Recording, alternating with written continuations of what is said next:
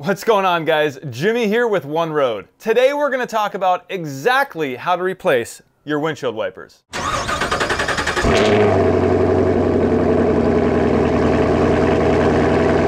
So what we have here is a 2005 GMC Envoy and we have the rear windshield wiper. In order to remove this old windshield wiper, all we have to do is pull out this windshield wiper and now moving the windshield wiper to the side, you can see there's a tab here.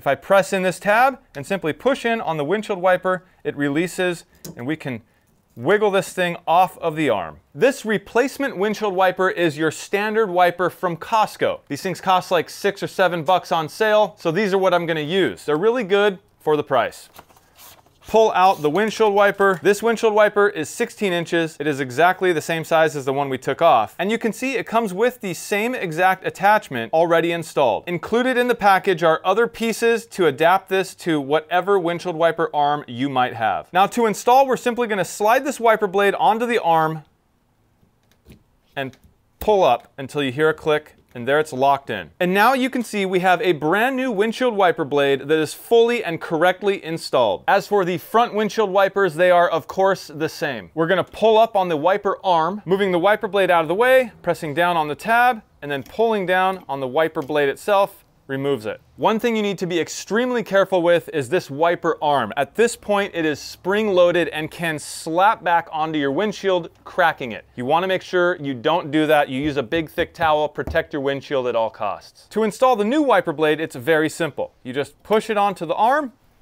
push it in till it clicks, and that's it.